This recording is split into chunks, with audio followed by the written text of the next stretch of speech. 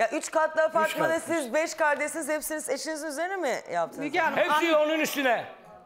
E peki bu çocukların He? hakkı? Yok, Müge Hanım dışarıda. anlatabilir Hanım, miyim? Bir Bizim saniye ben hakkımız abiye biliyor soruyorum musun? bir dakika yani. Peki bu kardeşlerinizin hakkı? Şimdi hakkı var. dakikası. Yok demiyorum ben sana. E varsa niye o zaman karınızın sakin. üzerinde tapu? Hayır değil. Çıkacak hep. Bütün borcumuzu arsanın borcu vardı daha önceden. Müge Hanım Borcu üç biz taksit ödedik. kalmış. Öyle üç taksit, üç taksit E, eşiniz mi ödedi üç taksidi? Tabii tabii. Üç kat değil mi? Biz çalıştık, ben çalıştım. Sen, biz, biz Buna nerede verdim, çalıştık? bu yatırdık yani.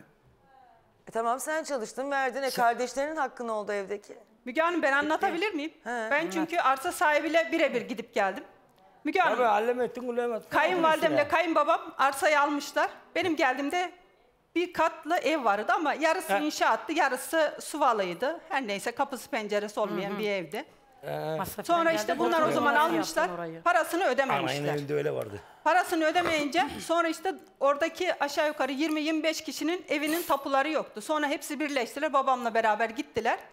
Ondan sonra orada işte arsa sahibi borcu istiyor. O zamanın parası ne kadardı bilmiyorum istemişti babamdan. Tamam ödemiş ben ondan bahsetmiyorum. Yani bir şekilde ödenmiş de kardeşim hani bunlar sizin kardeşleriniz ya. Bakın ben hayata şöyle bakıyorum. Bir insan kardeşinin hakkını yiyorsa eğer Her hakkı ya. herkesin hakkını yer. Çünkü kardeş. Yani ben öyle bakarım mesela. Korkarım da ben bu tip insanlardan çok açık söyleyeyim. Çünkü insan kardeşinin hakkını yiyorsa bana neler yapmaz. Karısına bir şey yapıyorsa bana neler yapmaz. Kocasına bir şey yapıyorsa bana neler yapmaz. Yani siz nasıl kardeşlerinizin hakkını karısın, karınızın üzerine O geçiriyorsunuz? yapmadı Müge Hanım. Müge Hanım. Arsa sahibi direkt satış yaptı. Bir dakika ben Arsa anlatayım. sahibi yaptı ama arsanın Müge üzerinde Hanım. de üç katlı ev var. Üç katlı ev değil. Anlatayım ben size. Tek katlı ev vardı. Daha sonra ikinci katı yaptık. Üçüncü katı oğlum yaptı. Bunlar işte borcu ödememiş. Sonra işte babam orada bir tartışıyor. Bir geldi öteki arkadaşları tapuyu alıyor. Babam almıyor.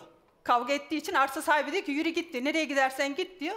Ben diyor tapuyu diyor senin üstüne vermediğim sürece diyor, sen ne yaparsan yap diyor alamazsın diyor. Sonra aradan 10 sene 15 sene falan geçti. Sonra işte babama dedim ki gel baba dedim gidelim dedim. Arsa sahibiyle bir görüşelim dedim. Anladım. Siz görüştünüz adam da Gittik. sizin üzerinize yapmaya Evet. razı Peki oldu. Arzemi adamına Senetlerde nasıl... Müge Hanım, üzerine- Ayzer mıydı babam Ha? o zaman? Ha? Babam Müge Hanım, Ayzer mıydı? Senetlerde Arzemir babamın siz üstüne de uydurdunuz. değil. Adam Arzemir Biz değildi uydurmadık. ki. Biz hiçbir zaman Ayzer Arzemir demedik. değildi adam. Demedik biz Kim Ayzer. söyledi demedik. Ayzer? Siz dediniz, siz dediniz. Ne oldu Arzemir evlat oldun yeni mi Yazmışsınız aklın da. geldi? Kaç Hayır. senedir aklın Siz neredeydi? demişsiniz. Ne aklın Aklın nerede? neredeydi? Benim aklım hep burada. Siz zaten hiçbir Baban yerde sağ var ya, demek siz- beddua ediyordu ki. Baba bir Dördüncü dakika. Değil mi? Bana ediyordu. Sana beddua Tabii ediyordu eder ya. Bir dakika ediyor. abi dur. Erdoğan abim babamın kaybolduğunda dilekçe veriyor. Hani böyle şey yapıyor. Kayıp ilanı veriyor. Orada Alzheimer diyerekten not düşürmüş başta. Direkt onu vermiş. Ya hasta Ha, bu- değildi ki bunu adam. ben verdim. Bunu Arzemir biz diye. vermedik. Biz gittik adliyeye, savcılığa gittik. Savcılıktan dosyayı çıkarttılar. A- Alzheimer diyerekten başa nakil yazmışlar yani. Öyle mi yazdınız? Alzheimer mıydı? Siz ikiniz yok muydunuz resim için bastırırken o, o tarafı? Ben bastırdım o resmi. Değil mi?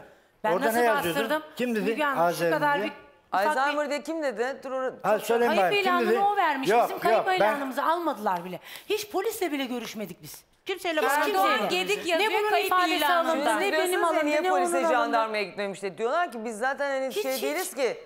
Niye siz onun kızı gözükmüyor musunuz nüfusta? Yok. Nüf- hiçbirimiz Kimliklerimiz nüfusta hiçbirimiz değiliz. Nasıl? Üstünde. Müge Dediğim Hanım, gibi. Ben anlatabilir Nasıl? İlk, ilk Ben annemin Dur eşinin bakayım. üstü... Bir saniye abi. İlk annemin eşinin üstüneyiz hepimiz. Büyüklerin Babamın hatalarını, üstüne anne değiliz, o hatalarını yüzden evlatlar arayamıyoruz. çekti. Çok güzel çektirdiler. O yüzden arayamıyoruz babamızı. Beşiniz de mi aynı? Hepimiz, Aynen, aynen. hepimiz. Abimin de adı geçmiyor. Biz Faik Kostoy'un kızıyız ama bizim kimliğimizde Rasim Gedik yazıyor. Hepimiz Rasim Gedik'in ilk evlendiği adamın üstüneyiz. O yüzden engeller O çıkıyor. yüzden de gidip tabii Evet, emniyette hiçbir bir şey yapamadık. yapamıyorsunuz. Yani. Hiçbir şey. Yakını olarak gözükmüyorsunuz. Yaşıyor mu diye PTT'ye gittim. Maaşını sorayım dedim. Yaşıyorsa maaşını çekiyordur dedim. PTT'ye gittim bilgi vermedi. Sonra müdüre çıktım. Müdür bey dedim böyle böyle bir ricam var. Sade çekilmiş mi çekilmemiş mi bunu bana verin dedim. Ben dedim kızıyım ama dedim kimliğin üstünde değil. Her yerde böyle anlatırken hem insanlar yadırgıyor bakıyor hem millet zor güveniyor Müge Hanım. Ortalığı biliyorsunuz. Anlatmama gerek yok. Tabii aslında vermemesi lazım ama işte hani orada orada da bunlar hayatın gerçekleri İşte. olduğu için birileri de birilerine yardım etmeye çalışıyor. Hani yaşı büyük falan filan diye yardım ediyorlardır. Çekmiş mi maaşını? Söyledi mi? Çe- e, bir ay e, kaybolmadan bir ay önce çekmiş. daha Altıncı daha ayın yok. yedisinde çekmiş. Peki. Bir daha da çekilmemiş. Peki şimdi siz e, bu dişlerini mutfakta yıkıyor diye ben bu adamı öldüreceğim dediniz mi? Kayınbiraderinizin iddiası bu. Ne demişti tam? Ya el- elini orada yıkıyordu. Dişle, takma dişlerini yıkıyor diye. Kız kardeşleri de vardı. Yalan Müge Hanım. Ben hayatta öyle Ta- bir kelime kullanmadım. e, Dişlerini yıkardı ama Çocukların banyoda üzerine yıkar. yemin et. Yemin edersin ederim. zaten. Ay, Allah etmeyin buradan evime gitmek Ben nasip etmesin. Ben de Yemin ederim. Ben de yemin ederim. Çocukları katma. Salata yapıyordu Müge Neyse Hanım, benim salata doğru, yapıyordu, Benim buram bıçağı rahat, rahat kakasım benim geliyor. buram. Ha? Benim kimseden Bıçağı- korkum salata yok. yapıyordu.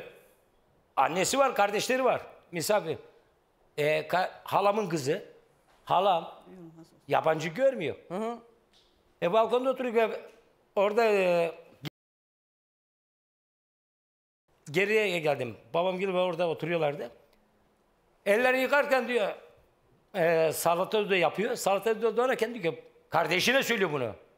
Bize değil ama farkında da değil ve benim orada olup olmadığı. Bıçak akasım geliyor dedi. Böyle böyle yapıyor diye. Bu adamdan ne beklersin? Bu haline Yemek yemek istemez, aş istemez. Bir ekmeği Adam Bornova'ya alırdı, gidiyor, Köşeye oturup aç gidiyor, lokma aç lokma geliyor. böler yerdi. Babamın zararı da yoktu. Elden aya- ayaktan düşük bir adam da değildi. Yani siz de benim yanımdaydınız o zaman değil mi? Hiç değildim Ha? değil mi? Yanımda Çok mıydınız? nankörsün. Yanımda mıydınız? Çok Dediniz nankör. mi böyle bıçağı Ya geliyor şimdi ben öyle evimde diyorlar. Nankör, parasını değil mi? bir şey değil. çok nankörsün. Ben kaliteme nankör, bakmaya mecbur nankör. değildim. Sen Ama var ya. onların dediği gibi babamın bana faydası vardı, zararı Evet, yoktu. Ne Vardı parası tabii, eve vardı. bakıyordu. Ben inkar Adam etmem. bakıyordu ben eve, sizin gibi nankör değil. değilim. Kocan Yukarıda değil. Allah var. Doğru söylüyor. Adam bakıyordu eve. Yukarıda Allah var. Nankör müyüz? İnkar Allah edersem, inkar edersem buraya yalan dünya, gerçek dünya var bir de senin gerçek evine dünya. harcıyordu. Müge Hanım, babam plastik alıyordu, topluyordu. senin evine harcıyordu. Ona bakmayacaksın da bize mi bakacaksın? Size de baktım. Bana ne Bize ne? Sana da baktım. Kızlara Bana ne bize de Bize sözlerine de 15'er tane tepsi bize de verdin. yapıyordum Parasını aldım, parasını. Çatı çatı Parasını paralarını yedin. Helal olsun be. Ha, parasını Bize hiçbir aldım. Bana hakkı yok bizde. Parayı da yedin ya boş ver bak. Bizde Paradan da hakkı değilim. Adamı aynı anda konuşmayın. Biriniz konuşurken diğeriniz durun. Bak mesela ben anlamıyorum. Bir şey söylüyordunuz. Buyurun. Benim, bizde hiçbir zaman hakkın yok. Bize bakmadın. Tamam. Biz evlendik. Annem babam evlendirdiydi bizi. Ben size sana demedim. Ekmeğini Ama yediyse kızları tamam işte diyorsun baktı. bak. Ona bir ben bekardım. Ona Tek tek. işi düştüğü zaman yenge yenge diyordu. Öyle yenge demiyordu. benden Anne para diyordu. Anne diyordu. Benden para istedin yani. Al yap dedim. Ni- Masrafı neyse vereyim dedim. Paranı yollamadın mı? Paralı yaptırdığında onun verdin. Senin Onu kızın yerken nişanında düşünmüyor sözünde yaptığın parayı. zaman para Yağları verdin mi? getirirken, peynirleri Akşam alırken 8'ine hiç başlıyordum. seslenmiyordun Gecenin ya. 3'üne kadar baklava börek açıyordum sana. Onlar Tabii, ne ne? Bedava Ha, paranı Bedava veriyormuş. Tamam sizin dediğiniz olsun. Tabii ki de bizim yapmıyordun. Şimdi dediğimiz. önce arkadaşlarımız bir görüntü verecekler. Ee, Oğul. Erdoğan'ın babasının ismini verdiği oğlu Faik'in düğününde davulun üstüne çıkıp oynadığı görüntüler. Kaybolduktan bir hafta sonraki efendim bunlar gün görüntüler. sonra. Ya da 10 gün sonra. Örgür. Babası kaybolmuş. Ondan sonra eee oğlunun kına gecesi mi düğünü mü? Evet, Alalım kına alttaki- gecesi, kına gecesi. Ha, görebiliyor muyuz görüntü? Evet. Ya bu görüntüler tepki çekmiş anladığım kadarıyla. Yani onlar da diyorlar ki düğünü ertelemeyebilirdin. Ama Bu keşke rahatlık baban ne? kaybolmuş. Hani bu kadar mutlu mesut oynamasaydın diyorlar. Yani onlar ona kızdı. Kızıyor yani. Müge Hanım peki bize Sizden diyor çıkacak. Saniye Hanım. Söyle, Kendisi buyurun. neden asker eğlencesi yaptı? Oynamayan kalmadı Altı 4 sıfır. saat boyunca. Sonra gelin kızına tepsi götürdü. Evinden Götüreceğim. başladı davulla Kaç sene zurnayı geçti oynayı aradan? oynayı. Kaç sene? Kızın Kaç kapısına sene kadar. geçti? Elim ya Nişan bak yaptı. araştırıyorum bak daha Nişan yaptı. Ne zaman yaptı? Yeni, Nişanı ne yeni zaman daha. yaptı? Geçen sene yazın Haziranda. yaptı herhalde. Haziranda. Oynamayan insan kalmadı. Haziranda. Aradan halkı kaç sene bağlansın. geçmiş Haziranda Aynen yaptım. öyle. Nişan Haziranda Aradan yaptım. dört Kaybolduktan sene sonra yapmadık geçtikten zaten. so- Pardon. Aradan 4 sene geçtikten sonra artık zaten kızına böyle bir kutlama yapmış olması anormal değil ki. Anormal olan e, kaybından bir Bir hafta anda. sonra 10 gün sonra e, yaşananlar. Ama ben de Müge Hanım'a katılıyorum. Organize edilmiş bir düğün varsa bunu iptal etmek. Çünkü ortada bir kayıp var. Yine de bir hani ceset yok, bir ölüm yok. Evet Ee, bu koşullarda iptal etmeyebilirsiniz düğünü. Evet. Ama daha ılımlı, daha sakin bir düğün yaşanır. Hani bir davulun üzerine çıkıp da oynamak biraz ama o, ama o da nasıl yaşanır? Üzülürsen yaşanır. Tabii ki, tabii etkilenirsen. Üzülürsen oynayamazsın yani. Evet. Şimdi çok açık söyleyeyim. Ya baban yok ortada.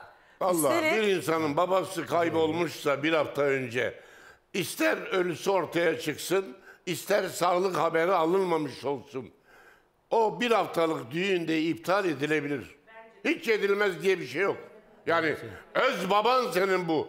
Baban bulunmadığına göre o yaştaki adam aranıyor her tarafta. buhar olup uçmadı ya. Yani akibet kendini gösteriyor zaten. O bakımdan yani bir haftalık bir düğün iptal edilmez diye bir kaideyi ben uygun görmüyorum. Etmedik Kusura hocam. bakmayın. Büyüklerle konuştuk. Ve Etmeyin de dedi. tabii ki Yaptık. hele bir de kalkıp da kusura bakma.